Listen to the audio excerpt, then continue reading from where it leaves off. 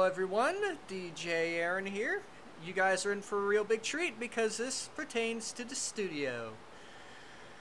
A while back, I was using a bit of software called FMLE, and we've noticed that the video on JustCast was a little bit uh, grainy or a little bit choppy or what have you.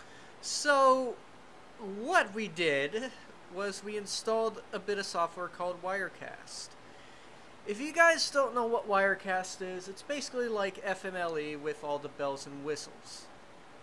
Same thing with XSplit. It's pretty much almost literally the same thing. So what I'm going to do for you guys right now is I'm going to show you guys the ins and outs of uh, Wirecast and how it works and all that stuff. So we're going to open it. Give it a little bit of there.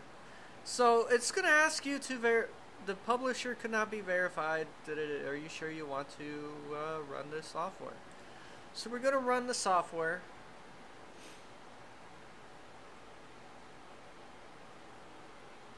It's going to take a few minutes because, uh, you know, I'm only running a AMD AMD Athlon X, not an XP, but a 64 uh, X2 processor and one gigabyte of RAM, as, as you guys could probably understand.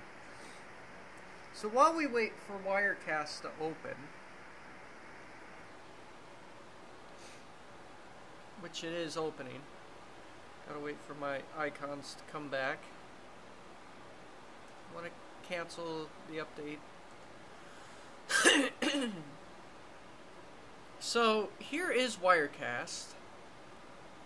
It is nothing more than just a simple broadcaster, but look, we have different things down here. What we can do is we can turn on the camera, as you can see. Hi! We have that. We could go to ManyCam, and then we can go to just audio. But the way this is set up, it is set up to broadcast what you are broadcasting, which is pretty cool. So, if you see this little button right up here, it says broadcast.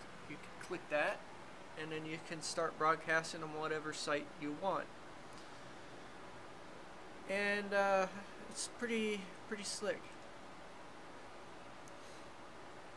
You do uh, output, preview, lay, lay, layer, panel, da, da, da, whatever that is. You do window, Wirecast, camera preview. Uh, what's that? Uh, new layer window, we can do audio inspector. Let's go audio inspector.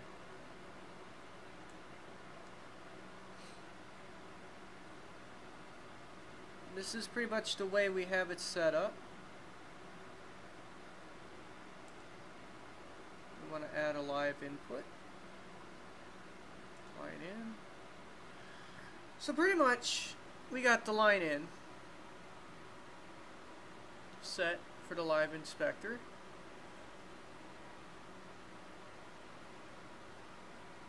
Okay, so we basically, I don't know if we need this anymore. So let's just open up a song here and we'll play something. Make sure we have audio. So I want to make sure we have audio and I'm not guessing that now that we have the live inspector set Hey, it saved my list from the last show. What the heck?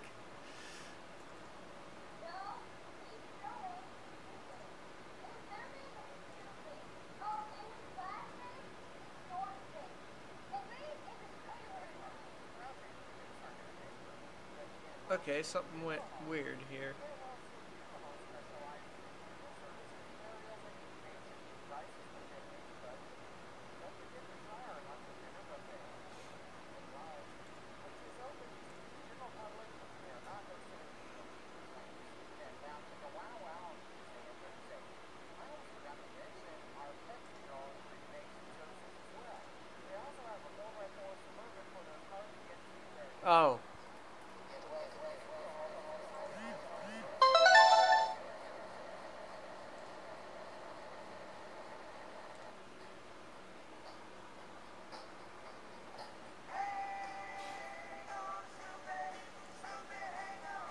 There we go.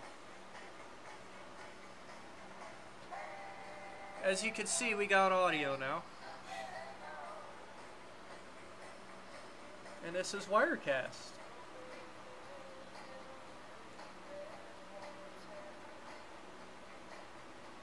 No, his real name is Idiot. And his middle name is Stupid. Oh, and his last name is Dorkface. And Reed is his That's why Taylor we're as well. proud to introduce our new neighbor, the Get Well Soon Funeral Home. The Get Well Soon Funeral Home specializes in funeral services, burials, and cremations with prices to fit any budget. Don't forget to try our lunch and dinner buffet. Okay, so that works. It's pretty weird how it saved my list from the last show. Alright, so we got Wirecast and we know how how to set it up.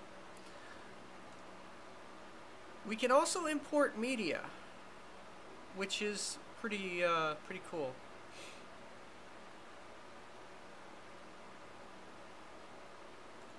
Let's go uh, 320 for the canvas size. it might even work better than before. Alright.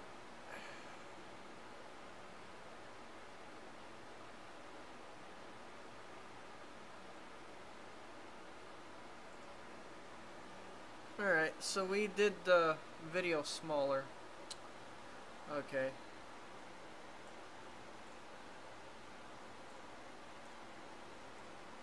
Let's uh let's close this. Let's save. And let's open Wirecast again.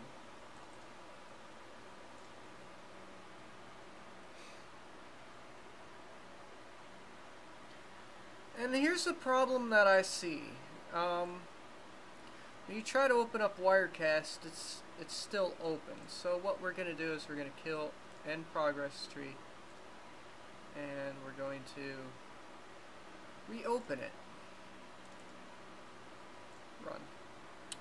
So that's the only problem I see. You have to end task by itself, basically. And there we go. We got uh, we got the uh, template saved once again. It's set in 4x3, so I don't think we'll get, uh, um, should I say, dropouts. So, yeah, it's good in a way because I can now. Let's see if the uh, task is now closed. Okay, it's now closed. It's good in a way now because the computer's able to run a little more efficiency than it was when it was in uh, HD. So there we go. We got that.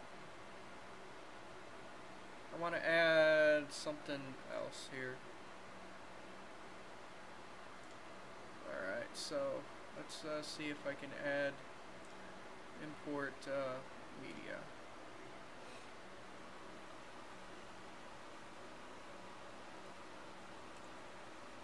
See here. We want some pics. Let's do some pictures. What I want to do, I want to add that. What I want to do is I want to move that before the actual timeline. And then, there we go. I'm expanding my timeline. We could add more to the timeline if we want to. So, cut it smooth. We can, let's smooth. Slide it. There we go. We could get rid of this Manny cam, I believe, if we wanted to, but I guess we won't. So we're using Wirecast. I want to import more. I want to add more to my show. So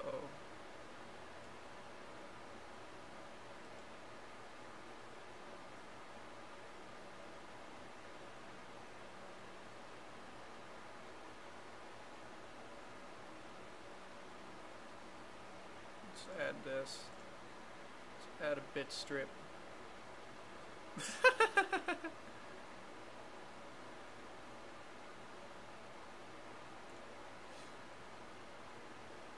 okay, so I'm just having way too much fun with this.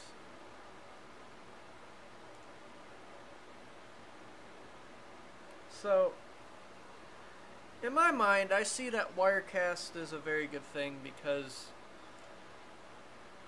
I can go from whatever it is that I want to. We could even take out a shot. So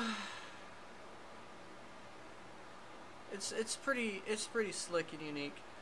Um, Wirecast for me is going to be great when I do shows on JustCast.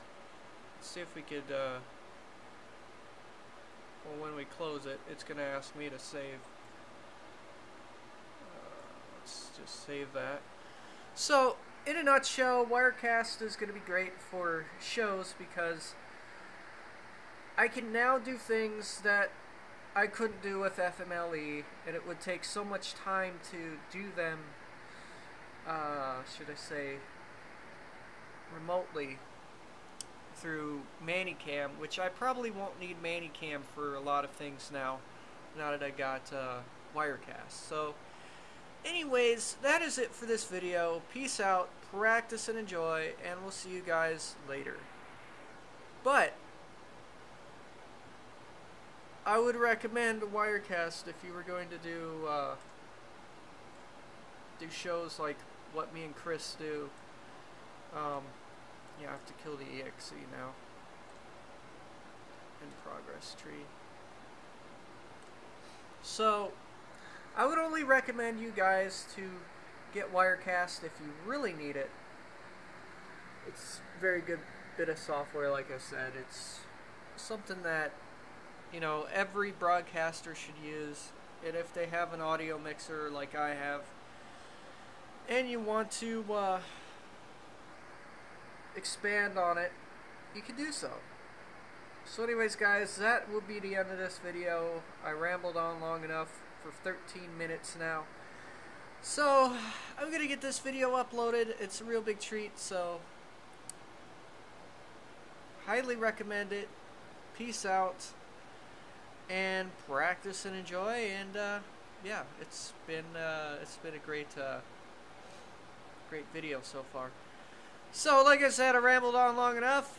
Peace out and practice and enjoy.